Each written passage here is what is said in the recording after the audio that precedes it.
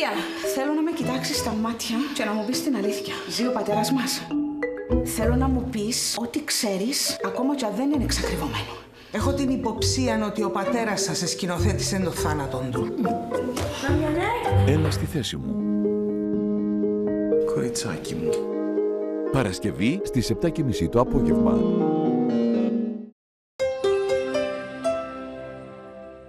Κοίτα μου, μαμά, μεγάλωσα. Έστω κι αν λες πως έχω πολλά ακόμα να μάθω. Κάθε μέρα μεγαλώνουμε μαζί. Φρέσκο γάλα λανίτης σε νέα συσκευασία. Είναι το γάλα μου.